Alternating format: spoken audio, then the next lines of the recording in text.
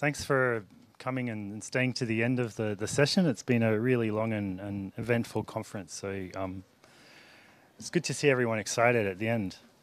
So, um, my name's Adam Steer, and I am going to talk about ex exploiting PDAL and entwine in the wild. Um, and hopefully this talk will, is going to work.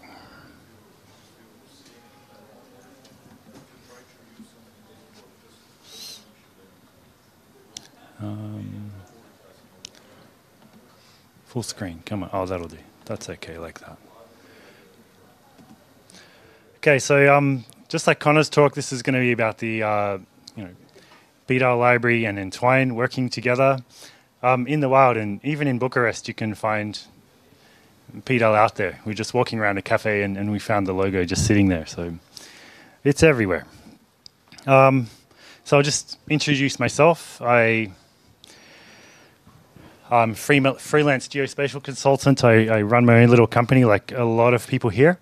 And uh, one of the points of this talk is to sort of show how using the tools that we've got from people like Connor, um, all of the people that just do have um, you know small companies or single person companies even can do some pretty amazing stuff.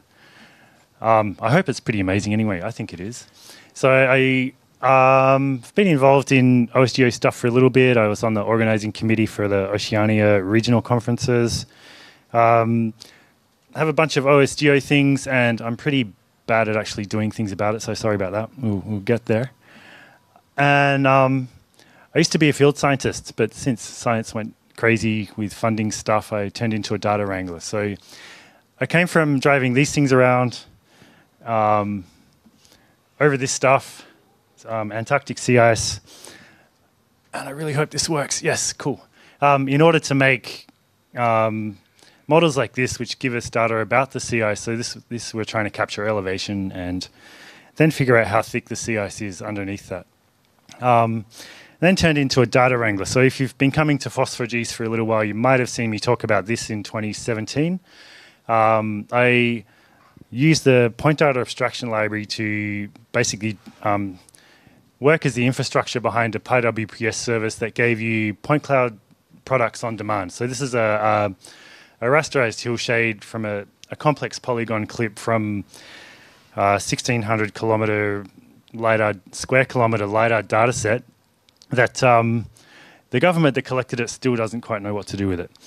So um, we prototyped that service. Unfortunately, I left that role and the project died. Um, so the the link on the bottom is really small to read, but you can go on GitHub and find it if you want to, to have a look and play with it.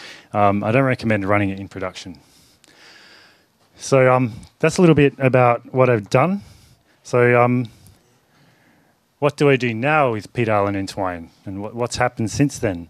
So basically, use these tools for analysis and processing and data visualization. And I like this little slide. It's a great visualization, visualization of some data. And um, if anyone can guess what data is being visualized there, stick your hand up because not everyone gets it. No, uh, single shot, double shot. So the left hand is, yeah. It's great. It's just made, but um, not. A, it's a great example because not everyone gets that. So it's a cool example of how visualization is different for everybody as well. So um,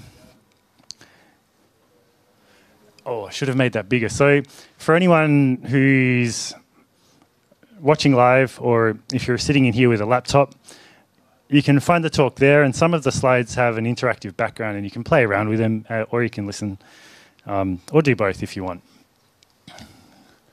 So the first use of PDAL and Entwine in the wild that I want to tell you about is hydrography because normally we think about these tools for looking up above the ground there's actually quite a big set of use cases for multi-beam sonar and, and, and analyzing um, the numerous data formats that come along with hydrographic surveys. So the first use case is actually, sorry, I'm going to see if I can make this a bit bigger.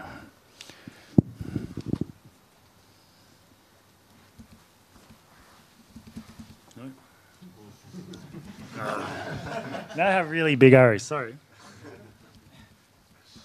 Um, okay, I, I should have tested this earlier. But anyway, the, this project has nothing to do with visualizing data or displaying data. It's, it's part of a, um, a quality assurance tool for hydrographic surveys. So this pipeline, this little PDAL pipeline JSON block is all about just extracting boundaries from a bunch of um, hydrographic survey points that are scored, stored as ASCII X, Ys, and Zs. And what we want to do is just get a coverage out, like the boundaries that Connor showed in the last talk, and um, compare them with what was surveyed. So this just extracts boundaries from those um, otherwise unwieldy ASCII data formats that hydrographers do not want to get away from. Um, this one here, uh, very similar. It's just saying it's a very short PDAL pipeline wrapped up in a Python function. Actually, no, this is a, a Python function that drives a PDAL pi pipeline as a Python library to get the density of these ASCII points. So you feed it uh, a big ASCII file and it comes back and says, um, your points are, you have 10 points per square meter or whatever it is. Um, and that again is just designed for, you know, quality assurance for surveys because a contractor will go out and collect some data and you want to check that they've um, met the specification. So um, really simple tools and because um, Geoscience Australia and Frontier SI were, were, happy to open source it, you can go to the link there and um, have a look through a bunch of Python notebooks and um, run all the tests or have a look at how they're built. And um, that, that particular case is just a, neat way of PDAL turning up somewhere surprising. You, you sort of, you know, it, it works well there because you don't have to write all of the readers and writers yourself. You can just plug them in, drive it with Python. It's pretty easy and it works. So um, for me, those are those are all winning things. And um, you can make interactive notebooks that let people walk through it all. So another much prettier use case for hydrographic surveying is just making maps. So this is um, four billion, no, just over four billion points of uh, multi-beam sonar data over 700,000 square kilometers that was collected when they were searching for a, a, lost aircraft off the west coast of Australia. So it's it's a lot of data to get through and map. And um, this map was made completely in QGIS using uh, PDAL to drive the processing of the um, ASCII hydrographic data into something that could be used to draw this map. So um, here's the first pipeline, and it just steps through. So basically, the process of the first process was to, ta to take the ASCII data, um, reproject it into something that sort of worked uh, in one map that size instead of having multiple UTM zones. Um, add some dimensions so we could say, well, it's ground data and we can give it a color. And then um, clean up any noise, uh, invert the z-axis of the data so that, um, so a lot of hydrogra hydrographic surveys, the, the z value comes out positive and it's like, well, it's not up, it's down. So we just fix that. Um, and then we write it out as LAS files. And that, um, for someone just processing a bunch of data, that works really well because you can throw away these big um, uh, fluffy ASCII files, store it as LAS, save yourself a lot of time and space on disk, or a lot of space on disk at least. But this is um, basically you can just collect every one of those big ASCII files, run this pipeline once, and it's done on all of them. Um, that's more or less all of the magic code that you have to write. And then you can switch to something else like a bash shell and query all of those LAS files, stuff them into a database. So this is another block of PDAL driven by a bash script that um, just queries the metadata for every one of those LAS files and then stuffs the um, stuffs the data into a PostGIS database.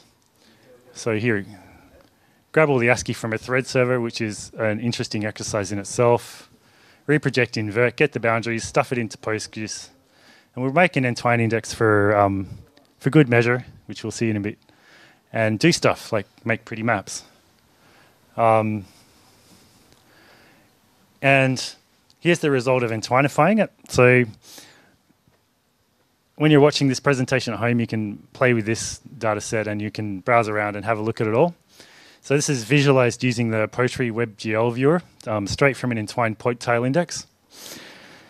Um, and you can see that the RGB colors that I've applied come out, otherwise it would just be looking at black points.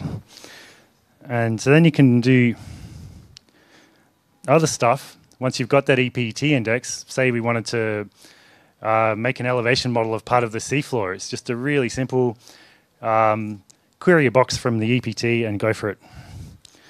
And then you can dump it back into QGIS and make pretty maps and, and spit them out again.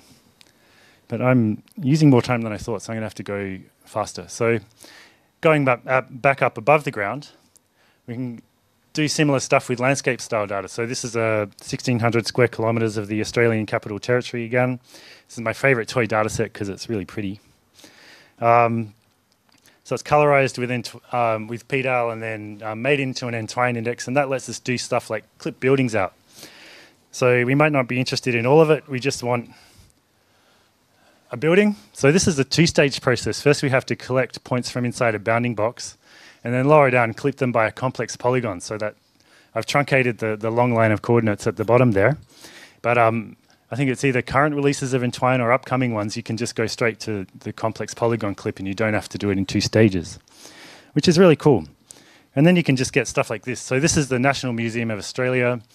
Um, it's come straight from that um, 30 billion point data set without having to search three times. I've just gone, here's the bounding box, get me the data.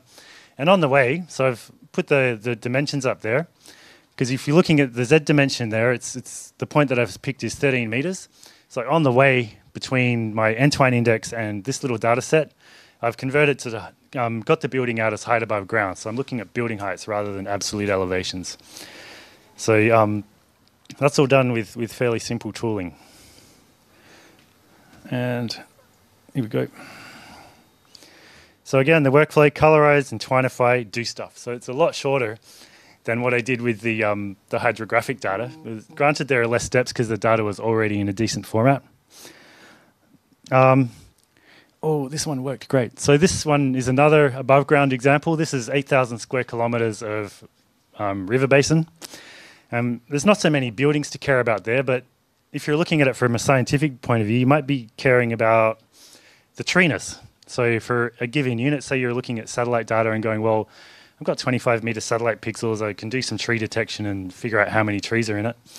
Um, we've got this giant LiDAR data set. How can we use that to QA it? Well, now that we have it entwinified, we can use PDAL to grab a little section, run some Python code. I won't show you the Python code because it's pretty long, but basically just does collects all of the tree classified points in the data, writes out a 2D histogram, and gives us back a, a rasterized, uh, a rasterized uh, histogram as a geotiff, um, which looks like this. So it's come out a little bit blurry, but in in the uh, a coincident aerial photo is the base map there, and on top. Um, Blue coloured areas are very few trees, up to brighter yellow, which is nearly fully tree covered. And you can sort of see that the trees follow the river or old river paths. Um, so it's a really neat way of being able to test, check against other things, or make these maps from scratch if they don't exist. Um, so this one's set for 10 meter pixels, so you might go, well, that, that kind of matches up with Sentinel-1, or you can do whatever you like. But again, it's pretty easy. Um, colorize, entwinify, do stuff. And it's all those really short units um, using PDAL to drive stuff and Entwine as the storage medium. And it's a really easy storage medium to work with. So um, I'm going to go to smaller scales now. So we've gone from 700,000, well, whole continents to seafloors to sort of landscape scales. And now, what if you're looking at smaller scales than that? Is Entwine still a useful tool? And um, I, I, I think it is because um, this is a cool project that I had, and it's the only picture I can show you of it. But in there is a, a 30 point per meter airborne scan, and an, the original data set for this building stadium on the lower right was just an ungeo referenced um, terrestrial LiDAR scan. It's about 1.2 billion points, so it's super dense. Like if you do a LAS density, it's like 10,000 points per meter. There's a lot of data there. Um, and our challenge was to to co-register the two, and we're like, um, what do we do? So in this case, we um, were able to find a few co-registered points and then use tools that are all contained in PDAL to find the relationship between those points, apply a transformation, and glue the two data sets together, and then uh, visualize them. So this was part of a sort of stand in a basketball court and then zoom out through the building out to sort of the entire landscape scale project. And um, again, workflow. This is a bit longer. Find co-registration points, uh, generate the matrix, apply it using PDAL. Ah, come on. Entwinify and do stuff. So again, there we could um, clip out bits of the building or do different things if you wanted, if you knew the bounding box and wanted to do stuff. And then everyone wants to talk about these things, so I'm going to talk about them as well. Little remote piloted aircraft, as we uh, call them properly where I come from. Um, this one's really cool. So that that little aircraft weighs 300 grams. I can launch it from a. Oh no, killed. Um, anyway, the point of that one was to show a cliff model that I made with that and you can see I don't know how many people are rock climbers, but you can see the ring bolts. You can measure the ring bolts on the cliff. And then because it's viewed in JavaScript as well, you can add more and more stuff to it. But that's beyond the scope of this talk, I think. But um, this one's a, a, real use case. So going back to um, our ACT LiDAR, uh, Australian Capital Territory LiDAR data set, we had a case where we wanted to test um, change detection. So the, the upper data set there is flown with the RPA. Um, took about six minutes to fly it, collected a bunch of photos, processed it, um, and we didn't have ground control points. It's like, well, we'll use the whatever GPS comes with the drone, and then then we have the challenge of, well, how do we know where it is? Does it match up with anything else? So we're able to um, use the point data abstraction library to uh, classify ground in the, the RPA data, use an iterative closest point matcher with ground class points from the uh, fully geodetically controlled LiDAR data set, match the two, and then generate a, a sort of a, a, difference model. So here, um, in the top model, that's colored by difference. So blue is not very different, yellow is very different. And this is um, the LiDAR data was flown in 2015. The RPA data was collected in 2018, and you can see a building's been built, and a little bit of ground's been moved around around it as well. So um, that was a great little use case for those capacities and again classify the ground, generate transforms, apply the transformation, and entwinify, do stuff. Um, and um, I think that's that's all the stuff I had to say. Oh, no more. Yep. That's the technical part of the talk.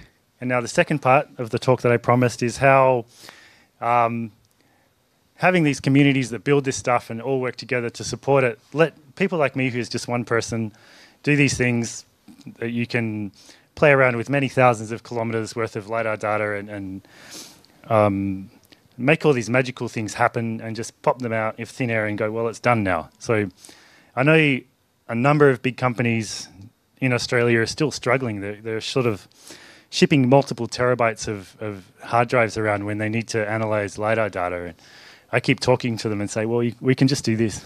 And um, one day it'll start working. But um, the, the basic practice in, in, my little enterprise, I guess, is being open by default. So, um, and that's because all of this stuff that I use happens because of passionate people. So I, I want to pick up that model and use it. So when I um, do stuff or write, write about things on my blog, the whole recipe is there. There's, there's nothing held back. There's, it doesn't help my business to to keep things private because I want to be in the the business of making cool stuff happen, not the business of protecting IP, right?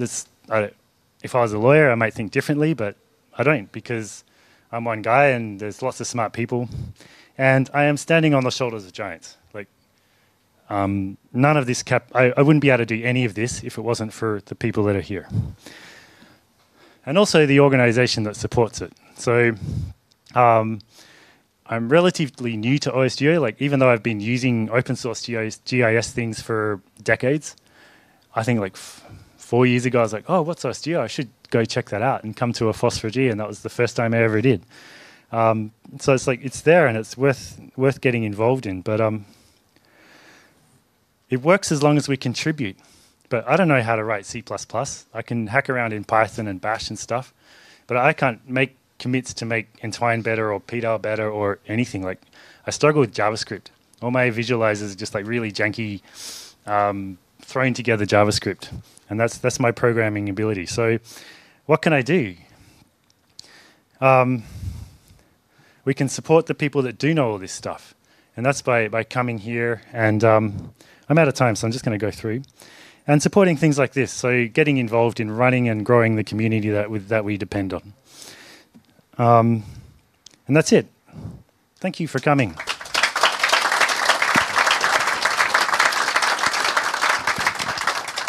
And just one more thing, um, the link at the bottom of the page, there are sort of long form reads of all of the stuff that I've shown there. You can go and look at it all and, and take it and do what you need.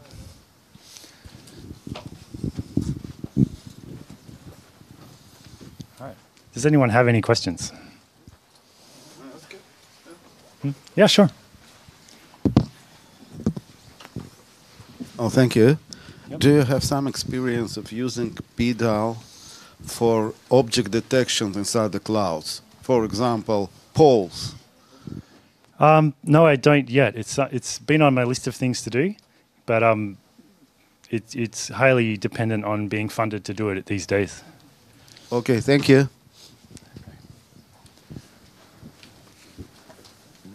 Yep. Go back up. Thanks. Thanks so much, Adam, for the for the talk. I have a question which is mainly involves both to you or to Connor.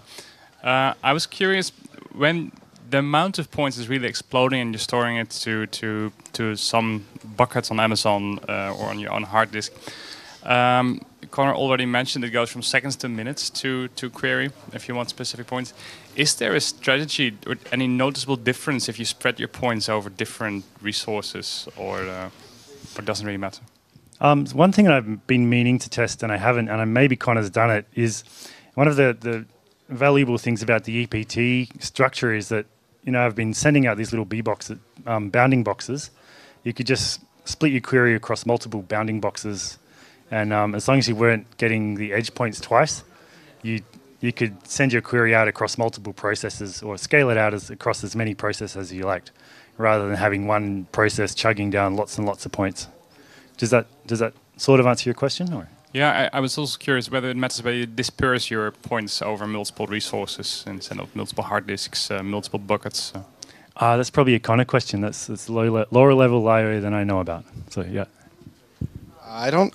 I don't think it would help all that much. Uh, maybe if you were trying to build like a full globe's worth, maybe you'd get a little bit of benefit. I should have clarified though when I when I was talking about the timings in mine, that was timing for downloading all the data and running all the running all the algorithmic stuff on the client. So the query itself is quite fast and it's only a few files, a few megabytes. But I'm on. I'm I'm reaching out from Iowa City to S3 somewhere, downloading it all, and the actual PDAL pipeline stuff was running on my laptop.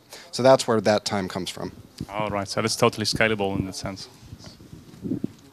Cool. Um, any more questions?